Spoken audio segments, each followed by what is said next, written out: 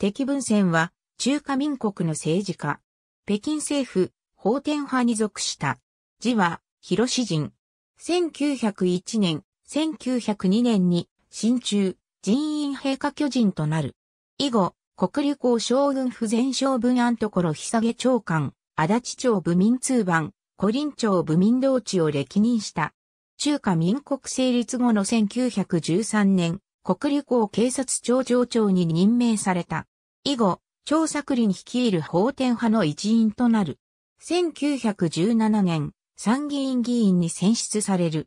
1920年9月、東三省使用運市に任ぜられた。1928年、東三省保安会委員となっている。張作林死後の同年7月、敵文鮮は、張学寮から法天省長に任命された。同年12月の駅史を経て、法天省が遼寧省に改祖され、敵がそのまま遼寧省政府主席に留任している。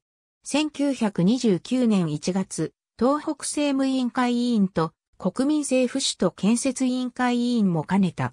1930年1月に小政府主席を辞任する。後に、万国道特捜会理事となった。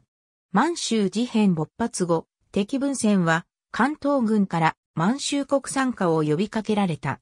しかし、敵はこれを拒否して、天津に隠居する。後に、北平に移った。晩年は仏門に入り、邸内で修行していたとされる。1950年4月23日、死去。去年73。ありがとうございます。